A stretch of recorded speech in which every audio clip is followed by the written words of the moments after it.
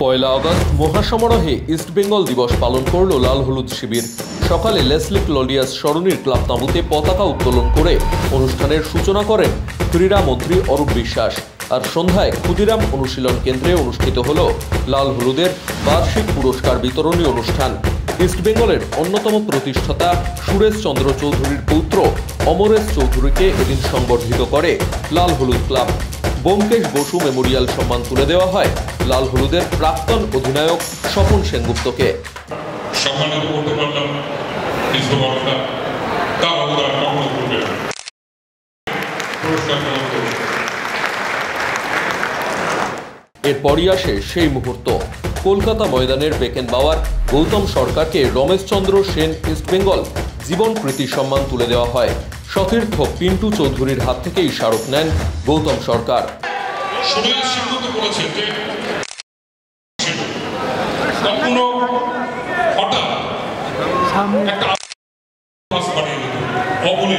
আমি দেখেছি আপনারাও দেখেছেন।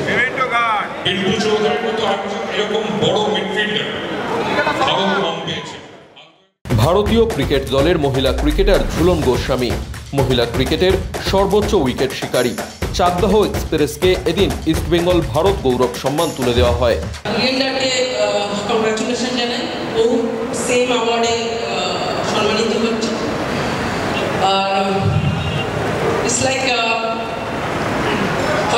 লাইক না, অনেকেই আমায় জিজ্ঞেস করেছে, তুমি মোহনবাগান না ইস্ট বেঙ্গল আজকে আমাকে বলতেই হবে পাবলিক স্টেটমেন্ট হয়ে যাবে এটা হয়তো।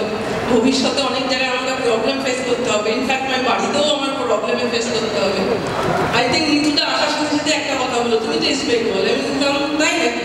বাট অ্যাকচুয়ালি আমি বাই হার্ট ইস্ট বেঙ্গল সবশেষে ভারতীয় টেনিস তারকা লিয়েন্ডার পেসকে ভারত গৌরব সম্মানে সম্মানিত করে শতাব্দী প্রাচীন ইস্টবেঙ্গল ক্লাব। লিয়েন্ডারের হাতে সম্মান তুলে দেন ঝুলন গোস্বামী। আমার বাবা সেভেন্টি সেভেন ইয়ার্স আছে যখন আমি ছয় বয়স ছিলাম, আমার বাবা ইস্ট বেঙ্গলের স্টেডিয়াম খেলেছে আমি বাবাকে দেখেছি, আর আমি ময়দানে বাবাকে যেরকম স্টেডিয়ামে খেলেছি, I also thought that I can play for. ক্যামেরায় সাতকী আচার্যর সঙ্গে সায়ন্তন মুখার্জির রিপোর্ট কি খবর কলকাতা?